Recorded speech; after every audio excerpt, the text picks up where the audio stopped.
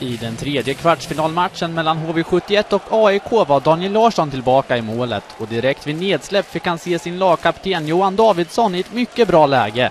Men Viktor Fast fortsatte på samma sätt som förra matchen, nämligen att hålla tätt. Hemmalagets jättepress i inledningen gör att gästerna redan efter en minut och 22 sekunder tvingas att ta timeout. Timeouten verkar inte ha någon större verkan då Timo Laine vid ett senare tillfälle är ytterst nära att göra 1-0. På reprisen ser man att Fast faktiskt var på pucken och står därmed för en riktig prakträddning. Inställningen var en helt annan hos hemmaspelarna om man jämför med tidigare matcher. Se bara på den här situationen då Martin Törnberg fullföljer en tackling och Per Ledin säger ett och annat till AIK-backen Josh McNevin. Helt rättvist kommer 1-0 och för första gången är det HV71 som gör första målet. Lagkaptenen Johan Davidsson visar vägen när han sprätter upp pucken i krysset. Daniel Grillfors och Mikko Loma står för framspelningen. Hemmalagets aggressivitet fortsätter och det leder fram till den här situationen. Andreas Falk tacklar Josh McNevin groggy och får därmed matchstraff. AIK får chans i powerplay och utnyttjar det per omgående. Kent McDonnell gör mål för tredje matchen i rad och resultatet är därmed lika efter första perioden.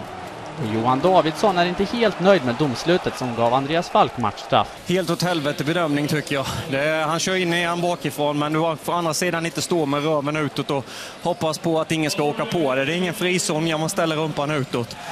Inte blev Davidsson heller nöjdare då AIK i slutet av femminutersutvisningen också gör 2-1 i inledningen av andra perioden. Stefan Johansson slänger in en puck som letar sig hela vägen in i nätmaskorna. AIK har fortsättningsvis koll på spelet, men utvisningar gör att HV får möjligheten i 5 mot 3.